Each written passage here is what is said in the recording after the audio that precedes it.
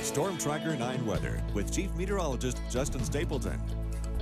All right, visual satellite showing a couple of different things than what we saw the last couple of days. The clouds were still there this morning, lots of sunshine this afternoon, but I want to draw your attention to where the marine layer clouds are hanging out along the coastlines. Go full screen there, guys, and I'll jump out on the wall and show you the big difference. Remember yesterday, day before, where were they coming in from? From the south coast, right? So we had everything going pushing north up the coastline. Look at the direction today.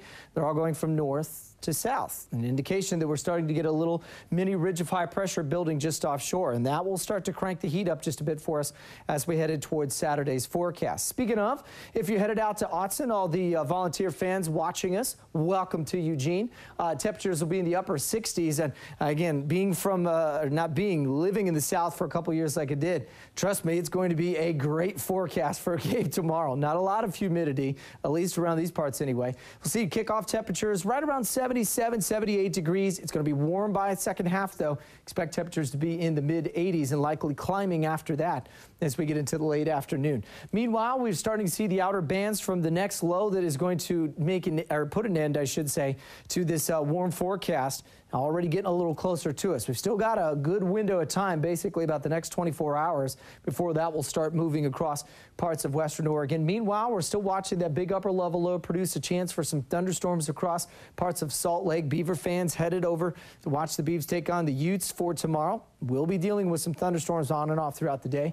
And we'll see the fog settle back into the valleys at late night tonight. This is likely just, again, right before dawn, a couple hours into the morning, should break up pretty quickly, and the temperatures will be in the mid 50s. 74 in Portland today. Really battled the thicker cloud cover most of the afternoon. Meanwhile, the further south you got down the I-5, things cleared out quickly, warmed up just as well um, in spots too. Roseburg at 89, 97 in Medford, 85 in Redmond, and a pretty comfortable 80 and 82 degrees in Corvallis and Eugene, respectively. Now, a little cooler in Corvallis right now. They're sitting in the low 70s. We've got 81 still in Eugene, 79 in Cottage Grove, 79 in Bend, and around 88 towards Roseburg. So I'm going to step out of the way and show you where that low is.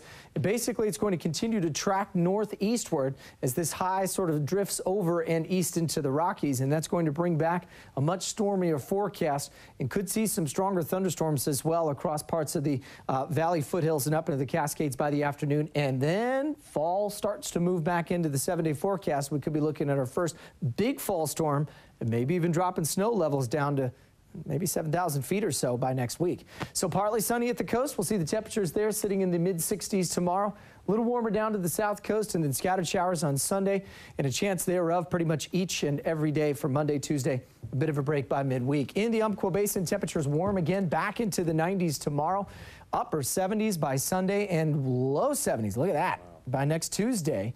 In the Cascades, mostly sunny for tomorrow. Thunderstorms will fire through there on Sunday and could wrap around through Monday. Bend and Redmond, a hot day again tomorrow. Big temperature drop, 60s on the board by Tuesday. And then finally in the valley, we'll see the temperatures right around 88 to 89 degrees. So warm one tomorrow, guys. And then uh, look at the bottom kind of drop out. We'll get a quick bump by Wednesday and Thursday, but I'm telling you, by this time next week, could be looking at our first big storm.